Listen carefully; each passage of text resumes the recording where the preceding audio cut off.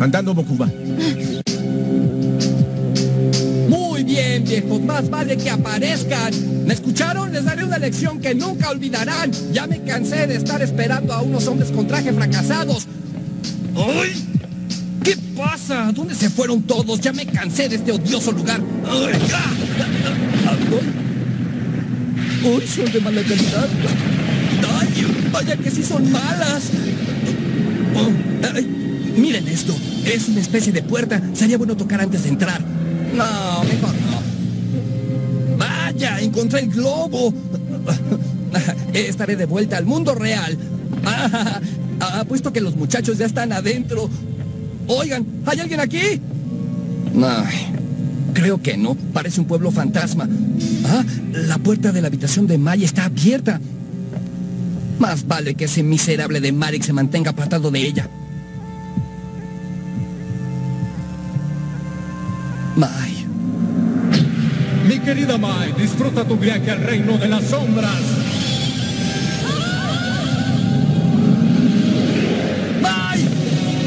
¿Qué le has hecho a ella? ¡Confiesa, Mari! Voy a recuperar tu mente. Te prometo que estarás participando en los duelos muy pronto.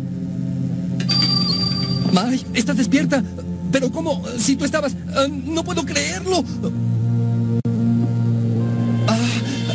Te sientes? Te ves menos inteligente de lo que aparentas, Joy. No recuerdas dónde estás. Nada de aquí es real. ¿Se puede saber quién eres? ¡Ya, dímelo ahora! Debí saber que eras uno de ellos. Me llamo Johnson, el abogado que se encargaba de los asuntos legales para la corporación Kaiba. A sus órdenes, señor. Podrá ver mis datos si toma mi tarjeta. ¡Quédate la sinvergüenza! Joy se requiere de su presencia en el juicio del siglo y por su bien es mejor que escuche mis indicaciones. Ah, yo... eh, espera, ¿dijiste el juicio del siglo? ¿A quién van a demandar?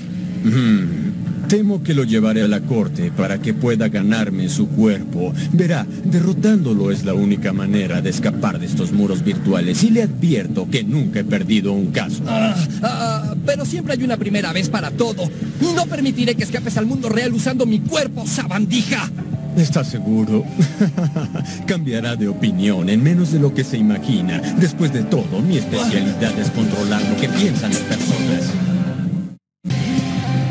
Ahora, déjeme exponerle las razones por las cuales tengo el derecho de quedarme con su cuerpo y también... ¡No! Oye, ya tuve suficiente contigo. Tu charla me provoca unas terribles náuseas, Johnson. Estoy haciendo mi trabajo, Joy. No, tú escúchame a mí. Hablar no cuesta nada. Así que guárdate tu dinero en la bocota. Me parece bien. ¿Por qué no sube al podio para llevar a cabo este juicio? Ya me cansaron tus cuentos legales, amigo. Primero cuando nos trajiste aquí, dijiste que tendríamos un duelo. Yo no sé por qué sacaste esas cosas tan absurdas. Buena pregunta. Para mí un duelo de monstruos es como un juicio. Observe. Oye, ¿por qué gira la habitación, Johnson? ¿Ah, ah?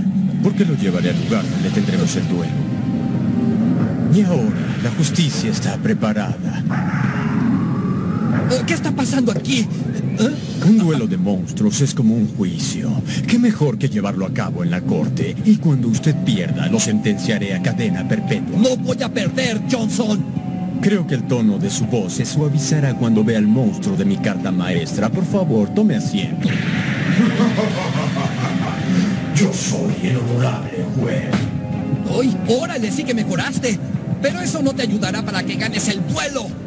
Orden. Si vuelves a faltarme el respeto, tendré que posponer este juicio. ¿Entendido, Joy? ¡Uy! Este sujeto me está colmando la paciencia.